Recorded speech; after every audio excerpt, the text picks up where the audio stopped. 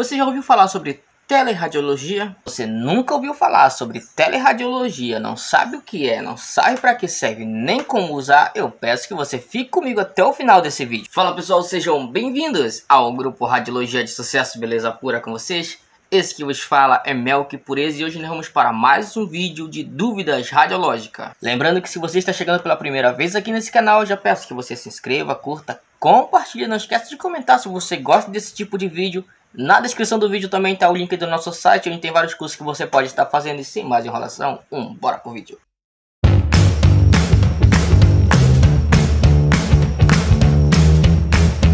Tá, mas o que é teleradiologia? Ou melhor dizendo, como é que funciona a teleradiologia? Bom, gente, a teleradiologia ela vem ser uma das especialidades da telemedicina. Foi o que nós vimos na aula passada, onde nós falamos um pouco sobre telemedicina. Que tem como objetivo o uso das tecnologias do meio de comunicação e da informação para que o diagnóstico de um exame de radiologia seja emitido à distância, sem a necessidade de um médico radiologista na unidade. Ou no hospital. Esse exame vai funcionar da seguinte maneira: o paciente vai ser submetido a um exame radiológico comum, com a diferença de que ele será enviado para uma central de teleradiologia por um computador com conexão à internet. Então, o médico radiologista analisará o exame e vai elaborar o laudo com a mesma validade, com a mesma confiabilidade de um médico presente na clínica ou no hospital. A diferença é que esse médico não estará nesse local pós e contras. Existe isso na teleradiologia? Esse método ele vai oferecer muitas praticidades ao paciente, até mesmo a hospitais e clínicas médicas, que não precisarão manter uma equipe de radiologistas presente em seu quadro de funcionário, principalmente em horário de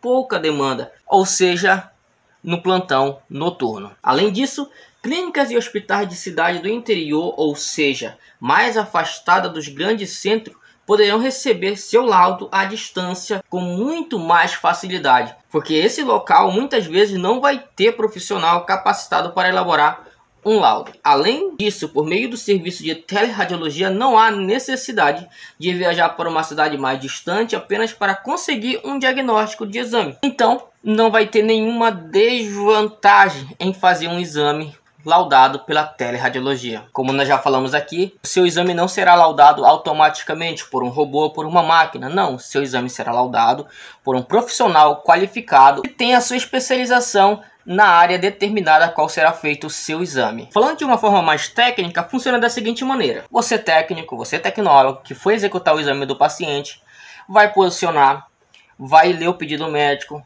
vai injetar o contraste se for necessário, de acordo com o pedido médico. Depois que o exame já tiver sido concluído, você vai visualizar se o exame ficou bom, se o exame não ficou mexido nem borrado a imagem. E você vai liberar o paciente. Agora você vai enviar as imagens para um sistema PAX.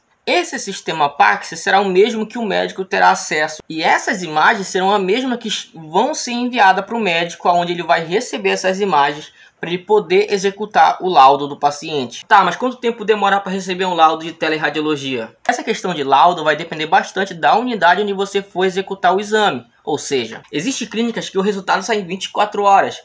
Isso em questão de urgência e emergência. Existem outras clínicas que o resultado sai até 3 dias úteis, outro até 4 dias úteis. Geralmente vai depender da unidade onde você for realizar exame.